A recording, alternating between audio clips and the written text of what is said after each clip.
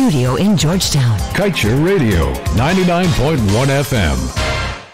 A pleasant good morning to you and welcome to your morning newscast right here on Kaieteur Radio 99.1 and 99.5 FM for January 4th, 2021. Joshua Van Slackman here. A happy new year to you. In our headlines this morning, AG recommends police probe charges for over $170 million spent on lawyers by the APNU AFC government. Jagdeo's revelations on depletion policy unbelievable and troubling according to Christopher Ram. And underage girl abandons baby after giving birth. And meanwhile, two dead and a third hospitalized after Corriverton smash-up. And government to make local content reports public according to Vice President Jagdeo. And now for the news in details. Auditor General Deodat Sharma has recommended a police probe and charges where necessary for breach of the procurement by officers attached to the Attorney General's chambers for over $170 million in retainer or legal fees agreement signed under the previous a Partnership for National Unity Alliance for Change government. The recommendations followed a special audit of the retainer agreements which was requested by Attorney General and the Minister of Legal Affairs, the Honorable Anil Nandlal. According to reports by the Audit Office, the inspection covered the period May 2015 to the 31st of August 2020 and focused on all transactions related to legal fees being paid to 26 local and foreign attorneys at law, law firms, agencies under the APNU AFC administration. The auditors examined records pertinent to the audit, which included tender board minutes and approved payment vouchers, contracts, and its supporting documents for retaining lawyers for a number of cases, including the no confidence vote case brought by the previous government and the matters filed to challenge the outcome of the March 2020 general and regional elections.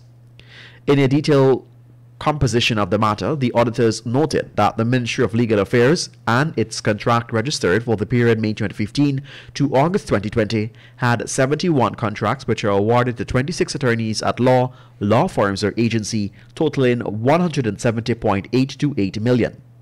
According to the report, the Ministry of Legal Affairs current accounts for the year 2015 to August 2020 amount totaling 112.200 million which was expended on employment costs under the state whilst amount totaling 166.474 million was expended as retainer agreement for 22 attorney at laws and law firms. Unbelievable and troubling. That is how chartered accountant and attorney at law Christopher Ram has chose to describe the recent announcement by Vice President Dr. Bharat Jagdeo of Guyana's depletion policy for petroleum extraction in the millions and millions of acres being operated by Exxon's offshore subsidiary in the Stabroek block. According to Ram, the policy announced by Mr. Jagdeo amounts to no policy, just expose and extract as much as possible within the shortest possible time. He is of the view that this announcement, which was made during a radio interview, outside of more a formal announcement which such an issue warrants, must be music to the ears of ExxonMobil, which sees Guyana as its redeeming cash cow. An underage girl who is believed to be 14 or 15 years reportedly abandoned her baby after giving birth on New Year's Day at a sawmill located at Kwebanna Village, Moruca, Region 1. About an hour later, Kaieteur Radio was told a group of visitors to the village heard the newborn's cries and rescued the infant. According to the Kwebanna Tushau, Tos Perez, the baby was found abandoned around 10 hours on New Year's morning. He said some visitors from the nearby village had docked their boat at the landing located just where the sawmill was. As they got out of the boat, he said sounds of crying caught the attention of a woman who was among the group. Perez said that the woman had told him that at first she thought a mother and her baby was probably close by. However, he continued the place was lonely and no one was there. The woman then decided to follow the cries and reportedly found the infant lying in the grass nearby. She picked up the infant and rushed to inform the Tushau. Perez said that no time was wasted and the newborn was taken to the Kwebanna Health Center where the medical professions took over. Kaieteur News understands that the police have since launched an investigation. Several days of persistent and heavy rainfalls have left the flood-prone community of Charity. Based on reports, the Regent Kaieteur radio, several housing schemes within the community have been affected by flood waters. Charity is the main port of entry on the Essequibo coast, which link the coast to the Pomeroon, Moruca, and even Venezuela.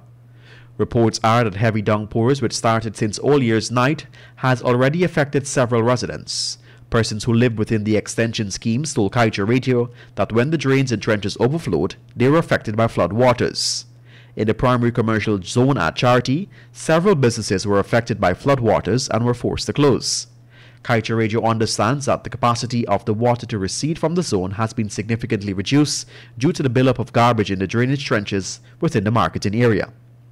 During the latter part of 2020, several efforts were made to have the drainage network in Charity when contacted, the Regional Democratic Council explained that they were conducting remedial works in the pump station in Charity. The administration pointed out that the sluice is still operational but can only be opened during low tides. Some communities that were also affected by floodwaters include Suddie, Richmond, and Mariah's Lodge. Two persons are now dead following a smash up on the Line Path Public Corriverton Berbice, while a third person is nursing injuries. Dead is Nimrod Prasad, 26, a hire car driver, and Terman Magnot, 36, of Line Path, Upper Quarantine.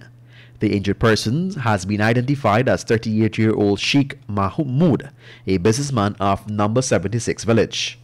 Reports are that just around 18 hours, Magnorth was heading north on the western lane in his motorcar PLL 4090 with Prasad as a passenger, while Mahmoud was headed in the opposite direction in his car PYY 7581. Mahmoud told the police that PLL 4090 suddenly turned into the lane and crashed head-on into his car PLL 4090. The car was flung in a nearby canal and reportedly burst into flames. As a result of such, both drivers and the occupant received injuries about their bodies. They were all taken to the Skeldon Public Hospital, where they were seen and examined by the doctor on duty, who pronounced Magnot dead and Prasad dead, while Mahmoud was taken into the emergency unit and was admitted in a stable condition. A breathalyzer test was conducted on Mahmoud and read zero. You're listening to your morning newscast right here on Kaieteur Radio 99.1 and 99.5 FM. Finally, at this time, Vice President Dr. Bharat Jagdeo said that during the process of the board national consultation to be had for Guyana's local content policy and legislation, the government is set to push the local content reports prepared by the Local Content Advisory Panel. He made these comments during a December edition of Kaieteur Radio Show's Guyana's Oil and You, hosted by senior journalist Kiana Wilburg. The panel members comprise President of the Guyana Manufacturing and Services Association, Shyam Nokta, former Foreign Affairs Minister Carl Greenidge, Trinidadian local content expert Anthony Paul, former Trinidadian Energy Minister Kevin Ramnarine, trade unionist Carvil Duncan, and accountant Floyd Haynes. They were expected to review all existing initiatives and policies where local content is concerned and guide the development of a newly policy and legislation.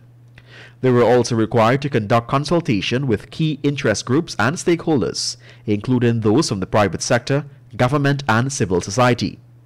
The first report was submitted late November 2020. Dr. Jagdeo said that government told the panel that the report was lengthy, so they were instructed to reduce it to about 30 pages. This would serve the purpose of culling duplicate recommendations made by different sectors. The Vice President said that the public views would inform the preparation of a negotiating brief to announce a policy and to submit to lawyers to prepare legislation for tabling in the National Assembly. The local content policy is currently in place was drafted under the former David Granger administration but was controversial mainly due to the consultant to prepare it. It was finalized by UK consultant Dr. Michael Warner. He has been hired by ExxonMobil to work on its Center for Local Business Development. Warner is a UK consultant that the APNU AFC used to replace Trinidadian local content expert Anthony Paul, who had worked on earlier drafts of the policy. Paul has been retained by the Irfaan Ali administration to assist with the revision of the policy and the installation of legislation. And with that, we've come to the end of your morning newscast right here on Kaieteur Radio 99.1 and 99.5 FM. Let's remind you that you can get the full details of these stories and much more by picking up a copy of the Kaieteur News at a newsstand near you or head across to our website at kaieteurnewsonline.com. I am Joshua Van Sleckman. Thank you for joining us, and once again, a Happy New Year to you. Kaieteur Radio. Covering Guyana from coast to coast. Demerara and Essequibo 99.1 FM. Berbice 99.5 FM. Kaieteur Radio.